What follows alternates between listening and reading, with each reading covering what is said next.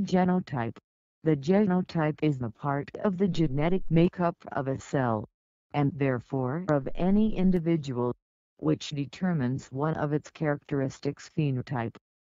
The term was coined by the Danish botanist, plant physiologist and geneticist Wilhelm Johannsen in 1903.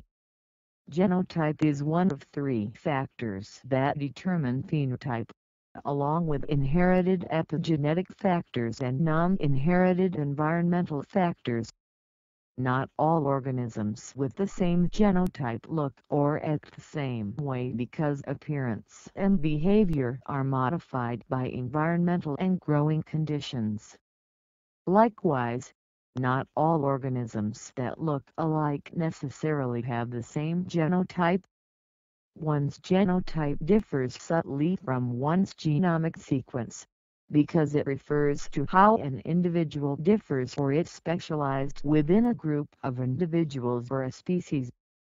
So, typically, one refers to an individual's genotype with regard to a particular gene of interest and the combination of alleles the individual carries see homozygous, heterozygous, Genotypes are often denoted with letters, for example BB, where B stands for one allele and B for another.